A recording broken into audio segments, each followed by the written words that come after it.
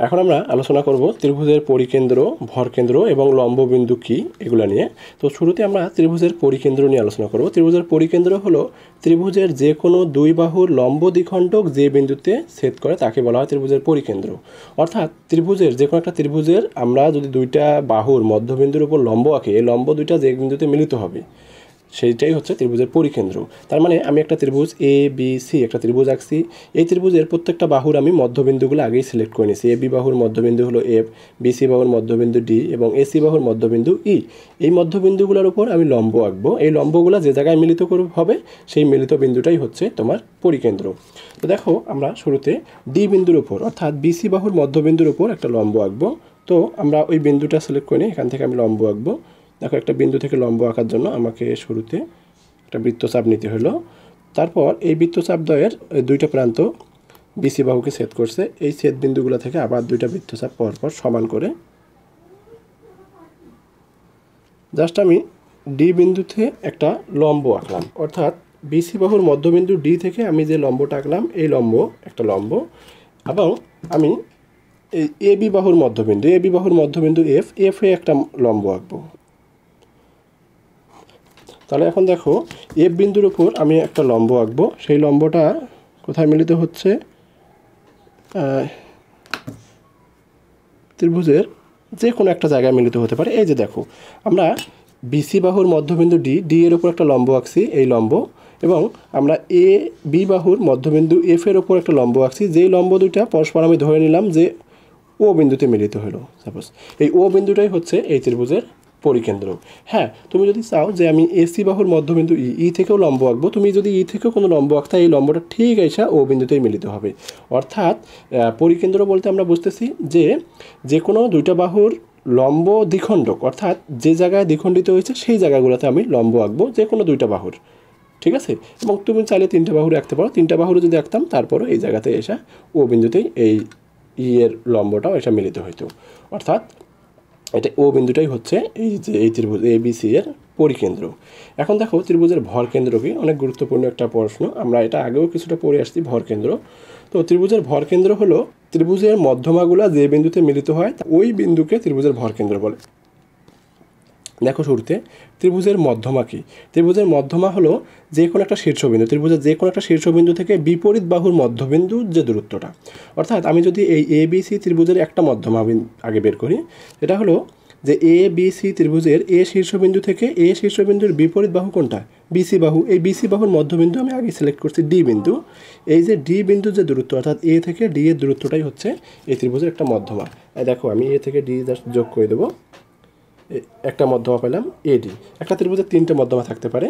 তো বিপরীত এই যে বি শীর্ষবিন্দু থেকে তার বিপরীত বাহু এসি এসি এর মধ্যবিন্দু ই ই এর উপর এইটা যদি আমি যোগ করি, অর্থাৎ আমি বিই যদি যোগ করি, তাহলে আমি আরেকটা মধ্যমা পাই বি এবং সি শীর্ষবিন্দু থেকে সি শীর্ষবিন্দুর বিপরীত বাহু এ বি এ বি এর মধ্যবিন্দু এফ আমি আগেই সিলেক্ট করে নিয়ে রাখছিলাম মধ্যবিন্দুটা। এই এফ যোগ করি সি আর এফ যোগ করি, তাহলে আমি একটা মধ্যমা পাই, এটা হলো সি এফ মধ্যমা। জাস্ট আমি দেখো, আমি মধ্যমা তিনটা যোগ করার ফলে এই মধ্যমা তিনটা একটা বিন্দুতে মিলিত হয়েছে। এই মিলন বিন্দুটার নামই হচ্ছে ভর কেন্দ্র। এটাকে আমি জাস্ট জি দ্বারা প্রকাশ করলাম।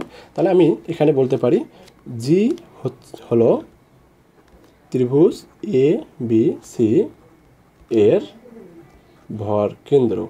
তাহলে ভর কেন্দ্র বিষয়টা আশা করি বোঝা গেছে যে ত্রিভুজের মধ্যমা তিনটা ত্রিভুজের তিনটে মধ্যমা থাকে, এই মধ্যমা তিনটা যে বিন্দুটাতে মিলিত হবে, এটাই হচ্ছে ওই ত্রিভুজের ভর কেন্দ্র।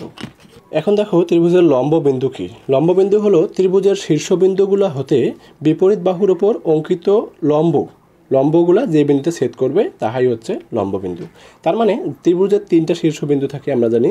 এই তিনটা শীর্ষবিন্দু থেকে, যে শীর্ষবিন্দু, যে কোনো একটা শীর্ষবিন্দু থেকে, ওই শীর্ষবিন্দুর বিপরীত বাহুর ওপর আমি সরাসরি লম্ব আঁকবো এবার। এখন দেখো, আমি এ শীর্ষবিন্দু হতে, এই যে বিসি বাহুর ওপর যদি লম্ব আঁকি, ধরলাম এ শীর্ষবিন্দুতে আমি কম্পাস বসানোর পর, এই দেখো বিসি বাহুর উপর লম্ব আঁকবো, তার মানে বিসি এর দুই প্রান্তে যেন ছেদ করে এমন একটা বৃত্তচাপ নেব। এই বৃত্তচাপ দেখো, এই বৃত্তচাপ দুইটা যে জায়গায় সেট করছে, ওই বিন্দু হতে আবার দুইটা বৃত্তচাপ নেব। দেখো, সমান নিতে হবে এমন না, এই এখন যে দুটো নেব সেই দুটো কিন্তু সমান হতে হবে, অর্থাৎ এইটুকু আর এইটা সমান। দেখো, এটাই হচ্ছে এটার উপর লম্ব, অর্থাৎ সে একটা শীর্ষবিন্দু থেকে তার বিপরীত বাহুর উপর যে আমি লম্ব আঁকলাম, এই যে লম্ব, এই লম্বটা হলো, আমি আপাতত হয়ে নিলাম, এটা হলো এ ডি লম্ব। আবার আমি আরেকটা শীর্ষবিন্দু থেকে পরের শীর্ষ বিপরীত বাহুর ওপর লম্ব আঁকবো। অর্থাৎ আমি বি শীর্ষবিন্দু থেকে আমি এসি এর উপরে এবার একটা লম্ব দেখাবো। তো বি বিন্দু থেকে এটা কিন্তু এই এসি এর উপর কিন্তু লম্ব হলো বি এবার কিন্তু লম্ব, দেখো, এগুলো কিন্তু লম্ব। অর্থাৎ এই এডি লম্ব বি আমি লিখতে পারি, এই এডিটা লম্ব কার ওপর বি সি এর ওপর লম্ব। আবার এই দেখো, এই বিই বিই এটাও কিন্তু লম্ব। কার ওপর লম্ব? এ, সি এর ওপর লম্ব।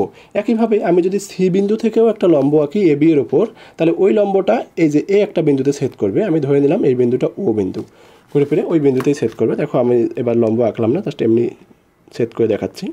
যদি আমি তৃতীয় শীর্ষবিন্দু থেকেও একটা লম্ব আঁকতাম বিপরীত বাহুর উপর, সেটাও এটা এই ও বিন্দুতেই ছেদ করতে, এই অর্থাৎ আমি এখানে বলতে পারি সি এফ লম্ব, কার ওপর লম্ব? এ, বি এর ওপর লম্ব।